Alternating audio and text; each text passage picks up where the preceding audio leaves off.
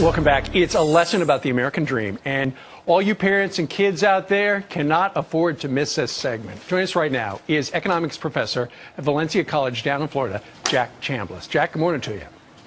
Good morning. How are you? I'm doing fine. Thank you very much. I understand on uh, one of the first days of your class, which is predominantly sophomores, you asked the kids to get out, write a 10 minute essay on what the American dream means to them. And this year, the results were jaw dropping. Tell us a little bit about it. Well, in addition to asking them what the American dream looks like for them, I then had them write specifically what they wanted the federal government to do to help them achieve that dream. Right. I took the essays from three classes, about 180 students, back to my office, and over the next day pored over them. About 10% of the students uh, said that they wanted the government to leave them alone and not tax them too much and let them regulate their own lives. Uh, but over 80% of the students uh, said that a, the, the, American dream to them meant a house and a job and uh, plenty of money for retirement and vacations and things like this. But when it came to the part about the federal government, uh, eight out of ten students said that they wanted free health care, they wanted the government to pay for their tuition, they wanted the government to pay for the down payment on their house, uh, they expected the government to, quote, give them a job. Uh, many of them said that they wanted the government to tax wealthier individuals so right. that they would have an opportunity to have a better life. Here, uh, so, we uh, well, I tell you what, Jack, we've got a little snippet from one of the essays one of the kids wrote. As human beings, we are not really responsible for our own acts, and so we need government to control those who don't care about others. Now, as you describe it, where uh, the kids said, you know, they want free college, they want down payment, free health care have they been watch? Do you feel that that is from this whole Occupy movement? They feel like they're part of the 99 and they want the 1% to give them the rest of their lives?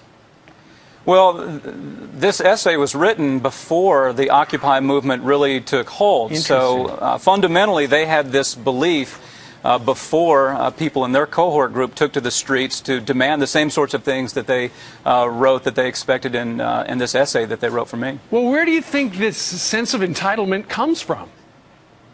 Well, uh, certainly, I think a big part of it comes from the public schools. I, I, I, very, when I start talking to my students over the semester and ask them how much time the public schools spend on the principles of John Locke or Adam Smith or Hayek or some of the other people who very clearly said that we have a God given right to life, liberty, and property.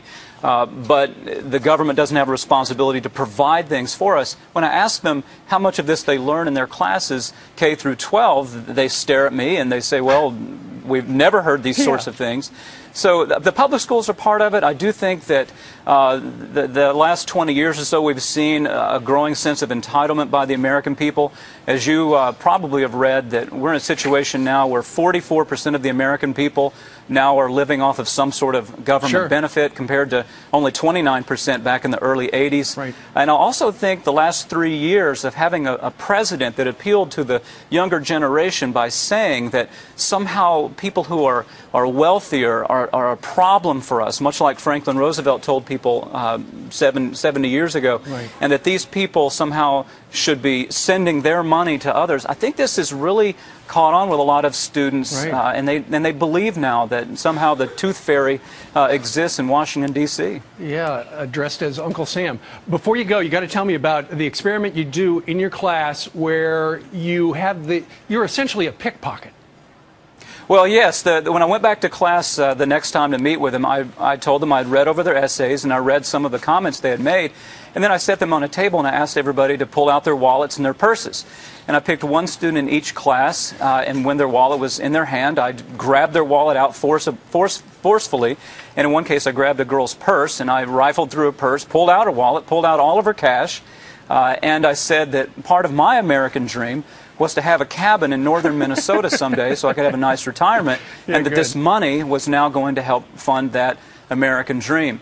And of course, yeah. that set in motion explanation on, on why using the government to plunder people to support our American dream is fundamentally morally wrong, constitutionally wrong, and leads to a lot of economic, uh, economically bad events if we let sure. that idea gain, gain ground. He's a professor of economics at Valencia College down in uh, Florida. Jack, you better go back to class because you've got, uh, you've got a lot of heads to fill. I will keep trying. Thank you. No kidding. We thank you very much for joining us live. All My right. pleasure. All right.